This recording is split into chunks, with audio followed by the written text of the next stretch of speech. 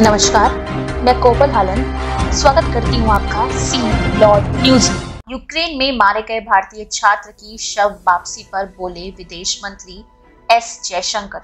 Ukraine में भारतीय छात्र नवीन शेखरप्पा की मौत को 14 दिन हो गए, लेकिन अब तक उनका शव भारत नहीं आया है। नवीन का शव भारत कब आएगा, इस पर आज विदेश मंत्री एस जयशंकर ने संसद में बयान दिया। उन्होंने कहा, खारकी मेडिकल यूनिवर्सिटी में अंतिम वर्ष के छात्र नवीन शेखरप्पा ज्ञाना गोदर की मौत हो गई।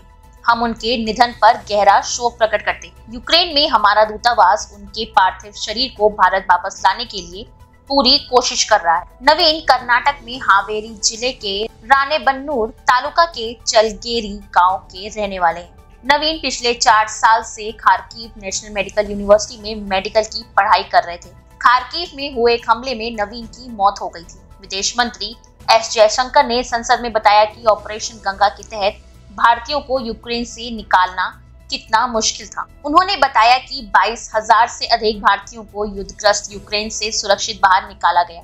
इसके लिए नब्बे हवाई उड़ानें चलाई गईं, जिसमें 14 इंडियन एयरफोर्स की उड़ानें भी शामिल थी। इस खबर में फ़िलहाल इतना ही। तमाम अपडेट्स के लिए जुड़े रहें सी लॉर्ड न्यूज़ के साथ। धन्यवाद।